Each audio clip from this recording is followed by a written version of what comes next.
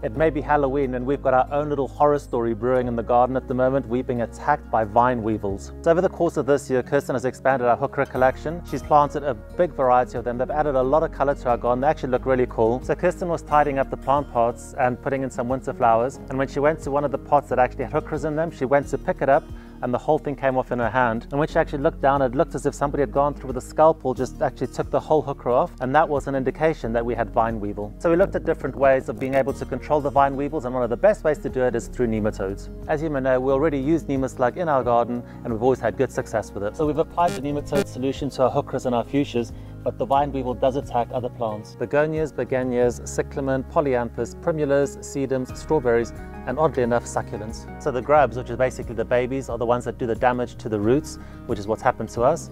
And then the adult vine weevils are the ones that come out in the summer and actually eat the leaves. So now is a great time to be applying the vine weevil nematode.